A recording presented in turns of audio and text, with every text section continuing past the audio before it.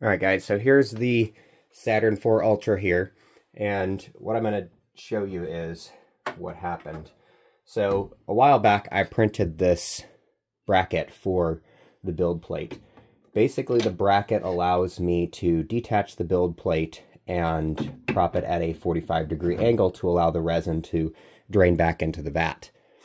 And then after I'm done with it, I usually will clean off the build plate here and leave it at the 45 degree angle. Lesson learned on that because I went to do another print and forgot to check the build plate orientation and it crashed right into the vat here. Luckily, it did not cause any damage to the LCD screen. And this is the Saturn 4 Ultra with a 12K screen. And it's about 100 bucks for the new screen.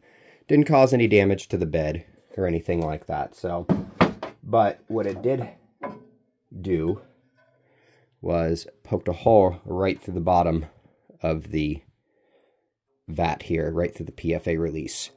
So it actually creased it right here and punched it through. Now, as I said, I did a check on the LCD here. And uh, I did a check on the LCD. LCD is fine. It printed fine afterwards. But then when I took the vat out to clean it out, I noticed that there was resin on the LCD screen that had to be cleaned off. So today we're going to uh, remove all of these here and replace this PFA film. So for this job, what we're going to need is two Allen wrenches that will fit the two different size uh, hex here. And then we're also going to need um, PFA release liner film um, I bought this on Amazon for about 17 bucks for a three pack. I'll leave the link down in the description there, but I figure this is the best stuff to use considering the fact that this is an Elegoo printer. So what I'm going to do is take off the old release li liner and there is a, a total of 12 of these bolts here that come out.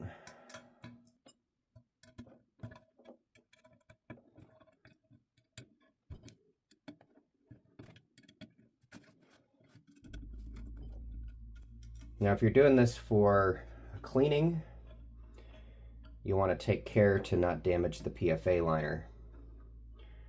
It's super thin. It's only about uh, 1.25 mil. I'm sorry, 0.125 mil.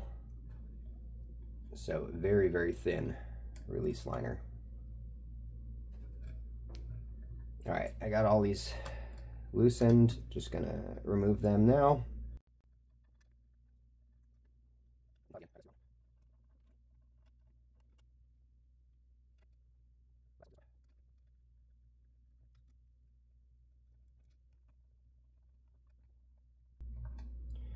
All right, with the 12 of these out, we're going to use the larger of the hex to bring out the four here. Now these four are what provides tension to the rest of the PFA liner on here. And when you see, when I get the uh, vat taken apart here, you'll see that this actually comes apart as its own little clamshell tray.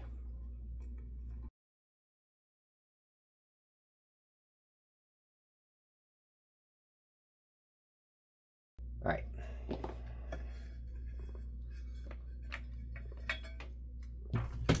All right, so there's the vat container here. I'm just gonna set this off to the side here. And then we're going to focus on the bottom of the tray here. So we have 1, 2, 3, 4, 5, 6, 7, 8, 16, 17, 18, 19, 20, 21, 22, 24, 26, 28 of these hex bolts on this side. Now, I've already gone through and cured the resin that was on this PFA liner, so this is all all dry. So we're going to take the piece apart here. This is a two-piece design here. It's kind of a pain in the ass, but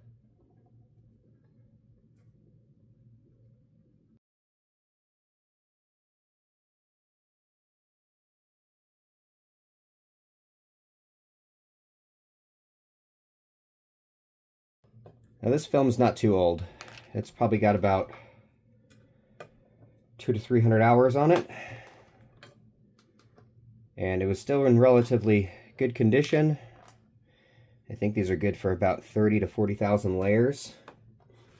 And I wasn't even nearly half that when I drove my bed through the PFA film.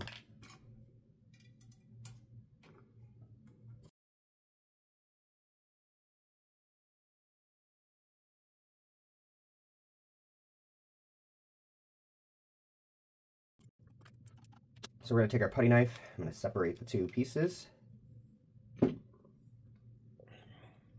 So basically all it is, two of these identical pieces, and then the PFA FEP film actually has holes all around it that secure it into place.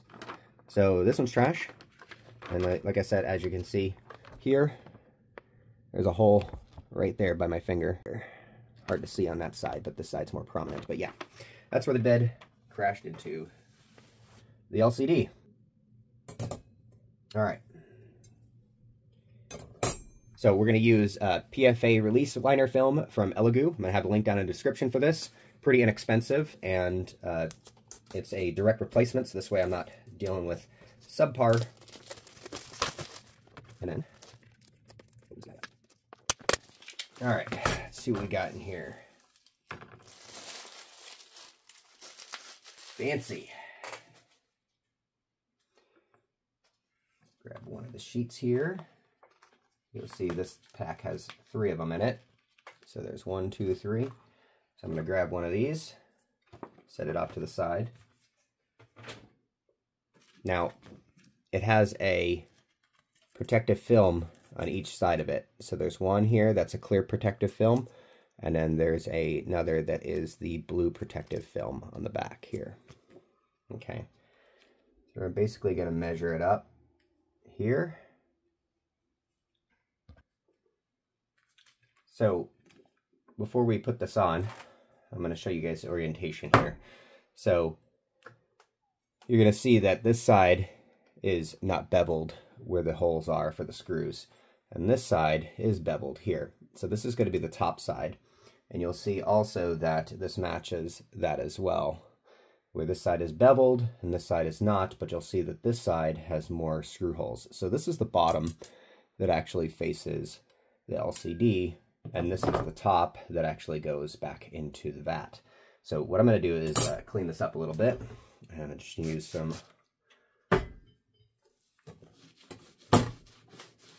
IPA on here to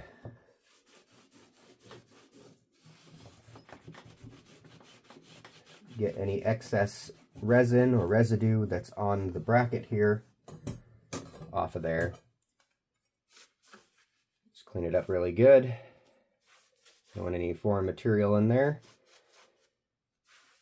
Perfect. So that's that side. That's the top.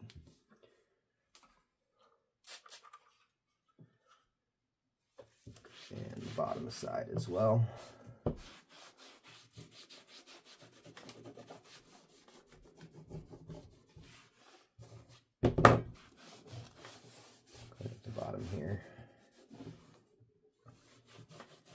Now, what Elegoo recommends is to use a block of foam, a 5 millimeter block of foam on here. But I have these mailing envelopes that I mail out some of my smaller prints with. So what I do is I'm going to use this to actually set this to give it a little bit of space. This is going to be that space that I pointed out earlier. So I'm going to peel off the protective film off the PFA liner. And peel off the blue side as well. We're going to center it over as much as we can here.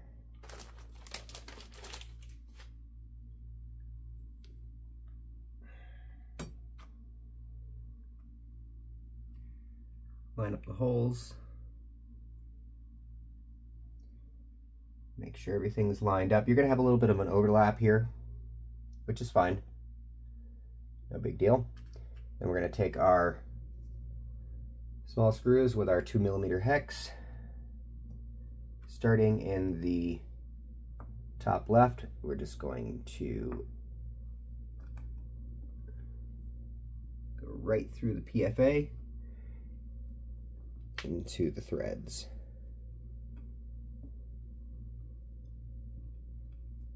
We're going to put in the top left first.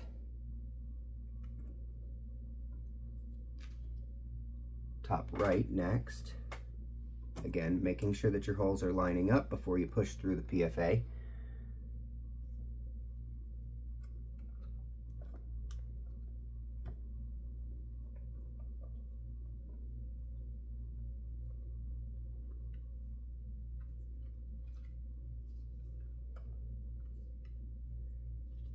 Bottom right.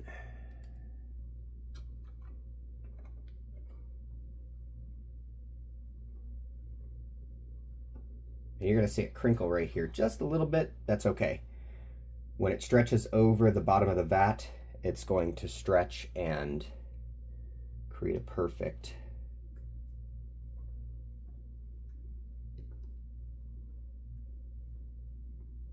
There we go. All right. Now the process is easy. We're just going to go all the way back around following clockwise orientation here once we have the PFA on. And we're going to follow all the way around the outside.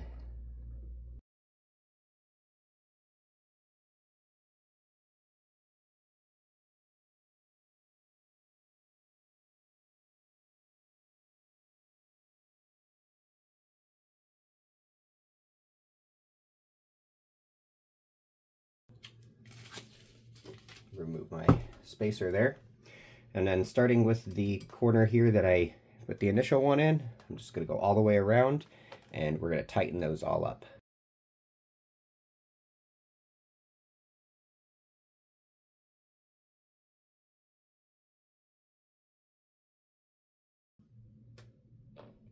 All right, so now we got these all tightened down. Next thing we're going to do is we're going to use a knife and we're just going to trim all up along the side of the frame here. And we're going to take all of this off of here. So let me grab my knife. All right.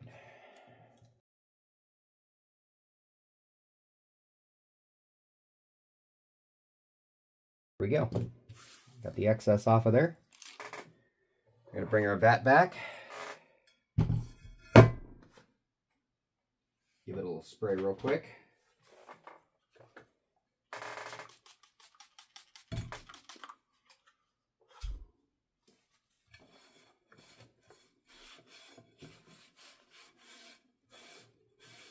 Clean off the mating surface here.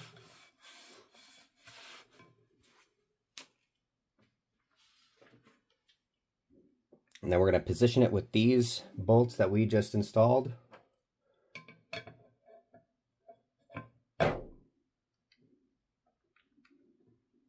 Facing down. Now we're going to use these bolts here. And we're going to tighten them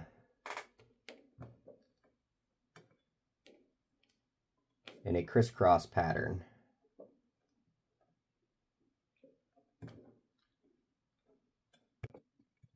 This one, so we little tension on each of the corners.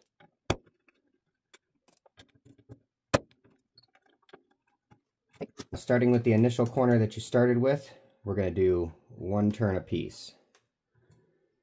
Crisscross,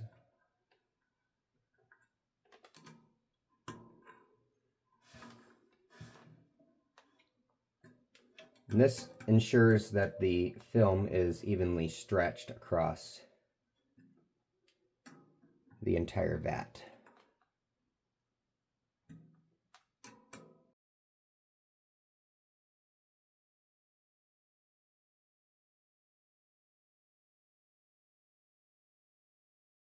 Last ones we're going to poke through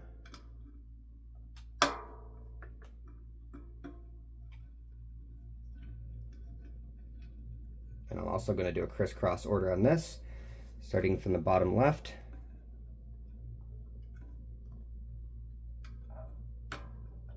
Top right.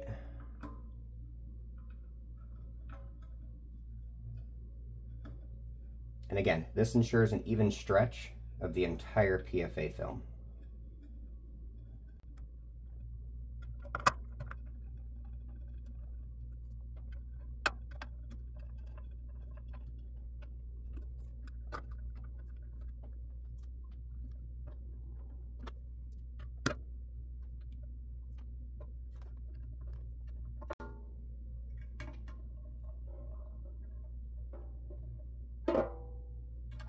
Like a drum.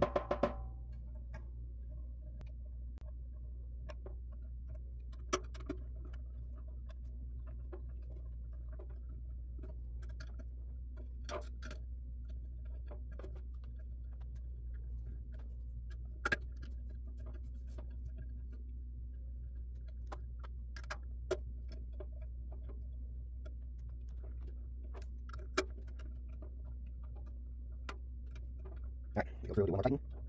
Use crisscross. Nice tight.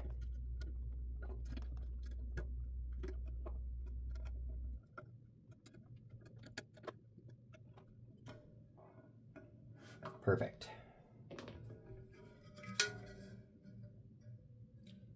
Brand new PFA liner on the resin vat here. So we're going to go install this on the printer now.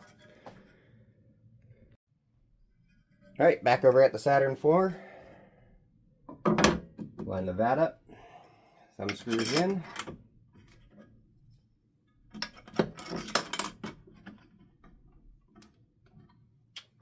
And build plate in.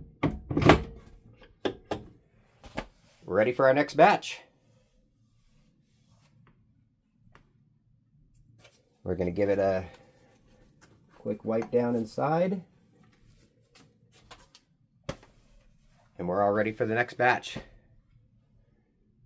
All right, so I'm gonna use my trusty ABS 3.0 photopolymer resin in gray. This is from Elegoo. Link down in the description for that. And we're gonna do some printing. So, like and subscribe, and we'll see you next time.